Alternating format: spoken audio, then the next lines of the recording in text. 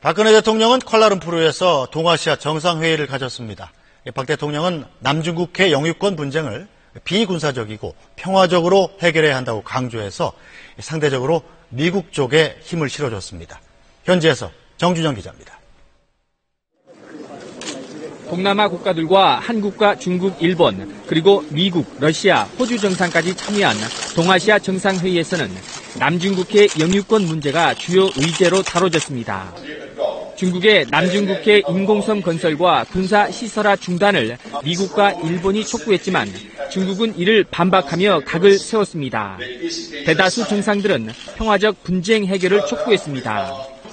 박근혜 대통령은 남중국해에서 항행과 상공 비행의 자유가 보장돼야 한다며 관련 당사국들이 비군사화 공약을 준수해야 한다고 강조했습니다. 비군사화 공약을 언급한 대목은 상대적으로 미국 측에 힘을 실어주는 것으로 해석됩니다. 박 대통령은 앞서 오늘 오전엔 동남아시아 국가연합인 아세안 공동체 출범 서명식에 참석했습니다.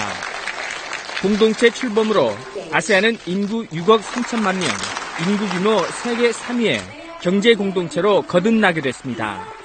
아세안과 한중일, 호주, 인도 등 16개 나라 정상들은 역내 포괄적 경제 동반자 협정에 내년 타결을 결의한 정상 공동 선언문도 발표했습니다.